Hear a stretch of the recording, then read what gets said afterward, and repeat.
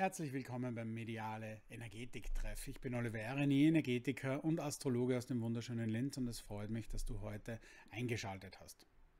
Heute geht es ein bisschen um ein unangenehmes Thema, nämlich das Thema Scheitern. Und ähm, manche Leute haben ja ganz oft das Gefühl zu scheitern und tragen dann auch diesen, diesen scheinbaren, ich sage mal, diese scheinbare Niederlage ganz lange mit sich herum und kommen, können sich gar nicht mehr erholen und gehen dann gewisse Themen gar nicht mehr an. Ich erlebe das zum Beispiel ganz oft in, in den Themen Partnerschaft. Also ich habe ganz viele Klientinnen auch und auch Klienten, die halt ein paar gescheiterte Beziehungen hinter sich haben, die da halt ein paar Mal enttäuscht wurden und die dann aus zwei, drei Enttäuschungen sagen, mir passiert immer dasselbe, ich werde immer enttäuscht und die dann gar nicht mehr versuchen, sich zu öffnen einem Partner oder einer Partnerin gegenüber. Und die Konsequenz ist dann natürlich auf der einen Seite diese tiefe Sehnsucht, jemanden zu finden, der einen liebt, und auf der anderen Seite natürlich ähm, diese, diese massive Angst, wieder enttäuscht zu werden und dann wieder nur zu scheitern. Und die sehen dann oft auch nur mehr das Scheitern. Und das ist jetzt nicht nur bei Beziehungen so, da lerne ich es sehr oft kennen. Ich habe es auch im, im beruflichen Kontext oder natürlich auch privat, wenn man sich was vornimmt. Äh, man setzt sich ein Ziel und erreicht es nicht und hat dann das Gefühl, man scheitert daran.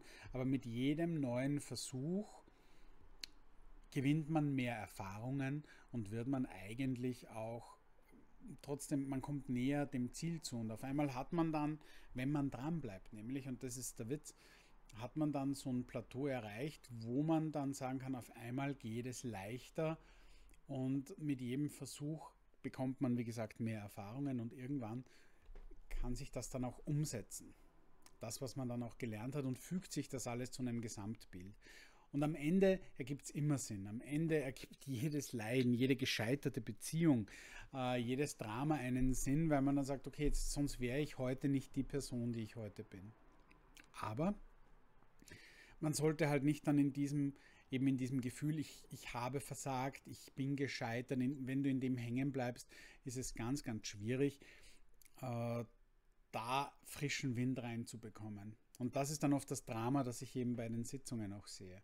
Deshalb geht es heute darum, mal dem Scheitern ein bisschen einen anderen Kontext zu geben, während dieser Meditation auch mal zu versuchen, äh, da ein bisschen klarer zu werden und vor allem ähm, ein bisschen mehr sich selbst zu vertrauen und dann auf einer anderen Ebene noch dem Leben zu vertrauen, äh, dass es das Leben gut mit dir meint und dass du dadurch dann auch eigentlich einen, ich nenne es mal, Liebesdienst erfährst, auch wenn du auf der oberflächlichen Ebene scheiterst. Gut, dann starten wir gleich mal mit der heutigen Übung. Und wir werden jetzt nicht verhindern, und das ist nochmal ganz wichtig, nicht verhindern, dass du scheitern wirst, sondern wir werden den Ansatz verhindern, dass du an deinem Scheitern leidest. Also den Leidensdruck da auch lösen. Weil alles wird nie funktionieren, egal wie gut wir uns versichern. So ist es, so sind wir nicht ausgelegt. Gut, dann schließ bitte mal deine Augen. Und atme mal tief ein.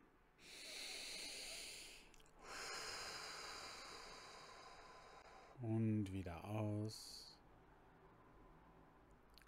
Und tief ein. Und wieder aus.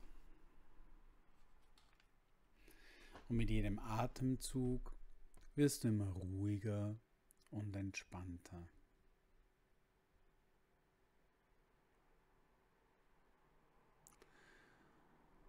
Und wir beginnen jetzt mit einem strahlenden grünen Licht. Denk an das Licht eines Smaragds, ein dunkelgrünes Licht, wie das Licht eines, die Farbe eines Malachits. Ein dunkles, sattes Grün.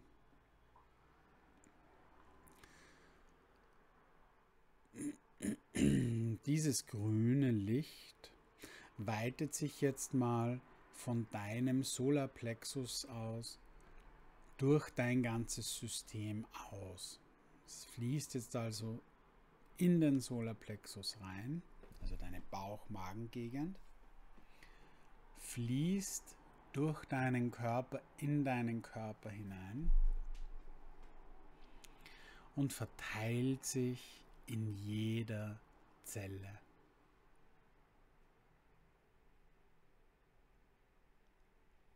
Und dieses Licht ist Frieden und Zufriedenheit. Frieden und Zufriedenheit.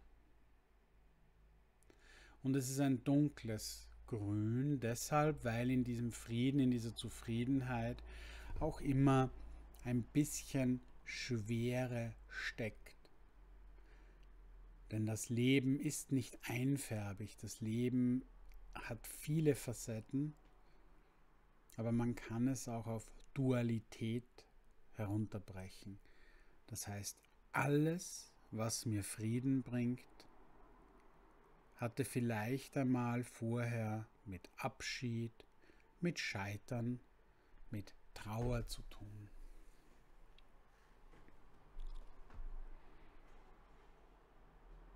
Und wichtig ist jetzt mal, dass du wahrnehmen kannst, dass dieses Scheitern, diese Trauer nichts ist, was gegen dich persönlich gerichtet ist.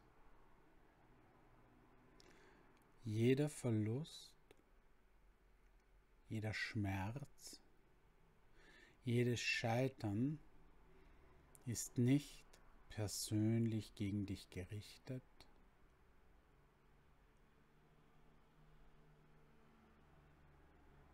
alles, was existiert und alles, was dir begegnet, ist aus der höchsten Liebe geschaffen.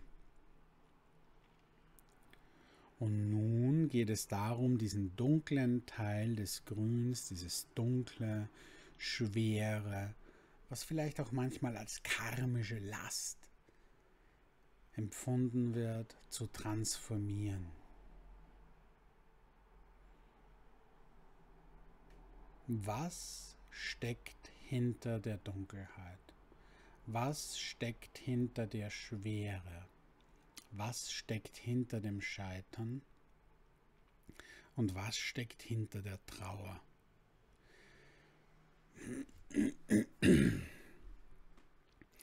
Und wir nehmen jetzt mal die erste Schicht dieser Dunkelheit aus deinem Energiefeld raus und schauen mal. Und hinter dieser Dunkelheit ist ein blaues Licht, vielleicht ein dunkleres Blau, vielleicht ein helleres Blau, es ist ein blaues Licht.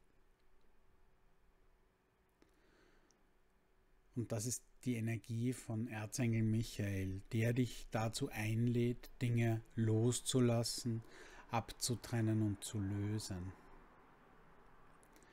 Also hinter dem Scheitern ist die Erlösung die Erlösung von falschen Vorstellungen, von einer gewissen Unsicherheit womöglich, von einer gewissen Verbissenheit auch nochmal. Und hinter diesem Scheitern ist einmal Lösung und Erlösung. Es ist also das Scheitern nicht dazu gedacht, dich zu anzuketten, dich zu binden, sondern dich zu erlösen. Und hinter der Lösung schauen wir weiter durch dieses blaue Licht hindurch von Erzengel Michael steht Liebe, ein wärmendes, gütiges, verständnisvolles, rosarotes Licht. Und hinter der Liebe steht das ewige Leuchten des Göttlichen. Und dieses ewige Licht wie eine strahlende Sonne, das strahlendste Licht, das du dir vorstellen kannst, das scheint jetzt auf die Stellen in dir, wo du das Gefühl hast, gescheitert zu sein und wo du das Gefühl hast, festzustecken. Wo du das Gefühl hast, dass da keine Energie mehr hinfließen kann. Und dort fließt jetzt dieses ewige Licht hinein.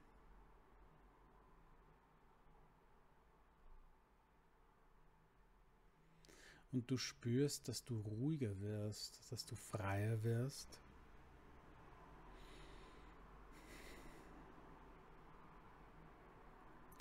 Und du spürst, dass du frei von diesem Gefühl zu scheitern bist, dass du immer leichter wirst. Und dass es nicht darum geht, zu lernen, wie in der Schule, um benotet zu werden, sondern dass es um einen Tanz geht, um einen Lebenstanz, um den Rhythmus des Lebens das mal auf und mal abgeht und diesen Rhythmus des Lebens, diesen Fluss des Lebens kannst du nicht beeinflussen oder stoppen.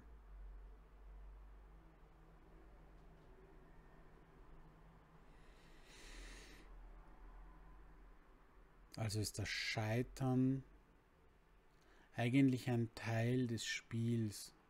Es ist wie bei Mensch ärgere dich nicht, wenn du mal nicht gewinnst. Es ist ein Spiel. Es ist ein klitzekleiner Augenblick.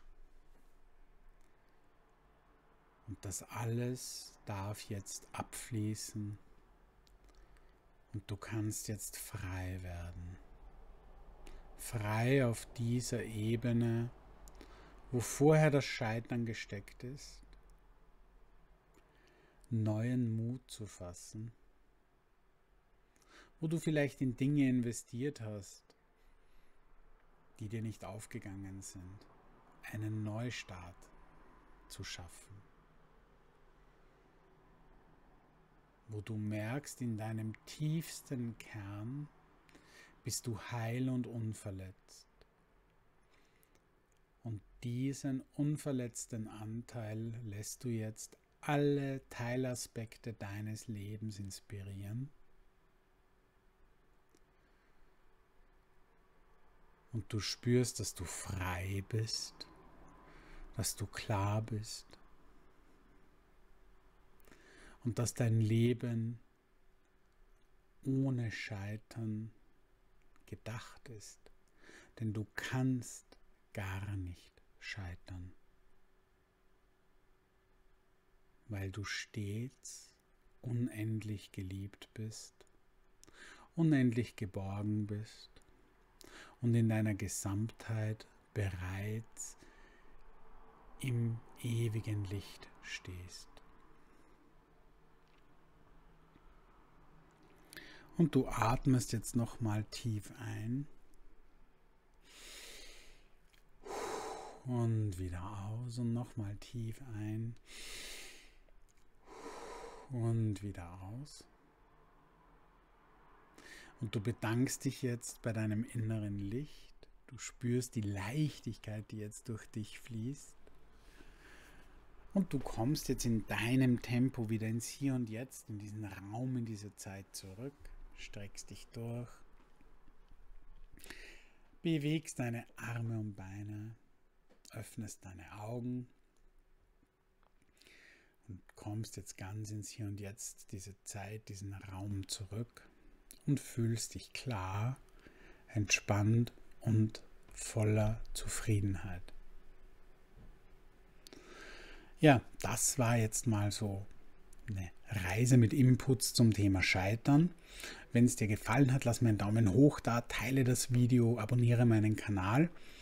Äh, wenn du irgendwelche Erfahrungen hast mit dem Scheitern oder vielleicht auch Tipps, wie du mit dem Scheitern umgehst, dann schreib es mir in die Kommentare. Ich bin gespannt drauf. Wenn du Themen für Meditationen hast, schreib es mir auch rein. Oder Wunschthemen, die ich in dem Video bearbeiten soll, das mache ich gerne. Ich wünsche dir eine gute Zeit. Alles Gute, dein Oliver Erni. Tschüss.